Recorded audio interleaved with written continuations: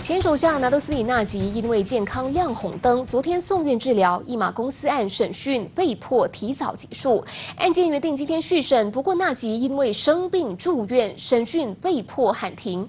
纳吉的律师沙菲蒂告知吉隆坡高庭法官，他今早七点半和九点半两度接到医院的通知，纳吉因病入住吉隆坡中央医院，他的血压出现波动，接下来几天必须接受一些检查，之后也将转送。送到国家心脏中心，瑞副检察司没有反对，因此法官批准纳吉律师的请求，取消今天的庭审。明天下午会在传召辩方了解纳吉的状况。